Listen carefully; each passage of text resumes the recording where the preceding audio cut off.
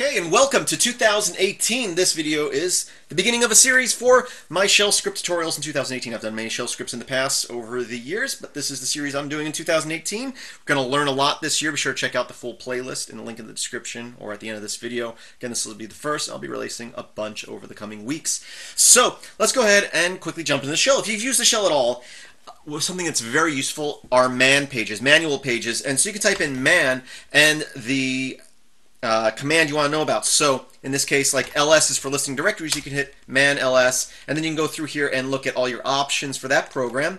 Q to get out of that. Uh, you can also do something like make dir, and it will give you the instructions, the manuals for that. Uh, or something like BC, which has a very long man page with a lot of stuff in here. Um, and I always say a good man page will always have examples, but sadly, a lot of man pages don't have any examples on how the commands work. So, how can you find commands? Of course, you can go and Google this command and see some examples, but there's actually a website right here called cheat.sh. And it's very simple to use up here at the top. You can click this little box up here and type in the command or click the drop down to see a full list. And you can see they have lots of commands uh, in here already with some cheat sheets. So in here, I can type in ls and hit enter. And it'll give us some very quick examples on the ls command that you can play with. Or we can go uh, make dir, and you can see some examples of that. Or bc. And if you were to type in part of a command, so let's say I type in dir, it's going to say, oh, did you mean dirs, make dir, remove dir, and you go, oh yeah, yeah, yeah, I wanted uh, remove dir. And it will give you some examples on that. Uh, and you can even do things like sed, and it'll give you some examples on sed or awk.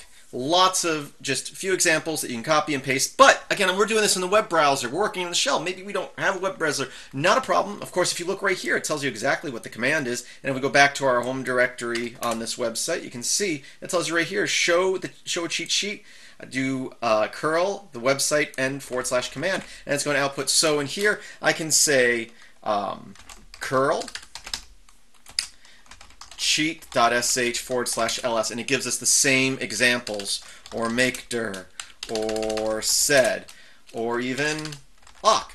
And you can, of course, copy and paste these examples. So here, this last example in awk is uh, specify an output separator for characters. So let's say we had this input of 1, 2, 3 with spaces. Well, we can say, well, let's in between each one of those numbers, I need a semicolon. That's exactly what this command does here. We can do that. So very quick and easy to see commands, some examples for them. Examples are great. It's going to save you some Googling.